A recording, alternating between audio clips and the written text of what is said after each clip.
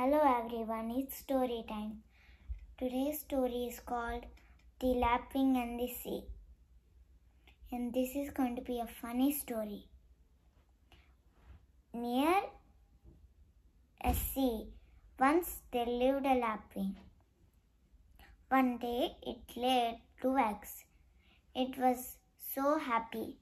It said, I'm going to lay some eggs and soon I'll get some two baby birds. It said. One day the lapwing was not near the eggs. The sea got very close to the eggs and said, These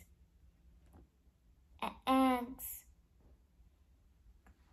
and lapwings are so silly. They lay eggs here, there. So, seeing so, the sea took the eggs. When the lapwing came, she didn't see her eggs.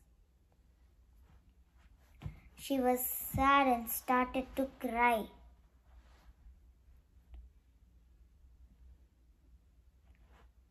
Who could do this? The lapwing wondered.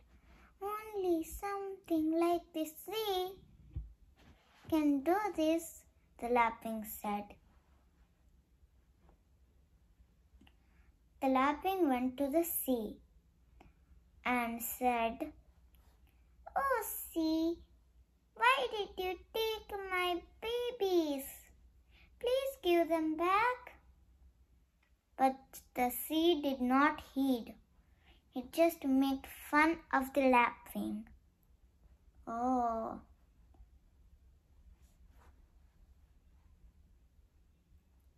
So, the lapwing decided to call his bird friends. The bird friends were agreed to help the lapwing. lapwing. So the bird friends came. Vultures, hawks, swans. They were throwing um, sand and uh, and wood and all of kinds of other rubbish.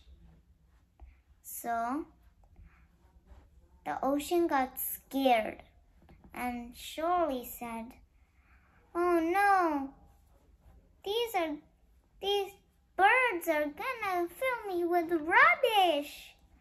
And saying so, the ocean gave the birds back the lapwing's eggs.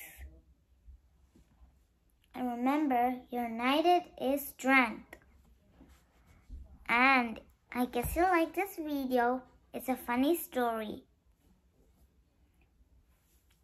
And if and if you like my videos you can click like and subscribe.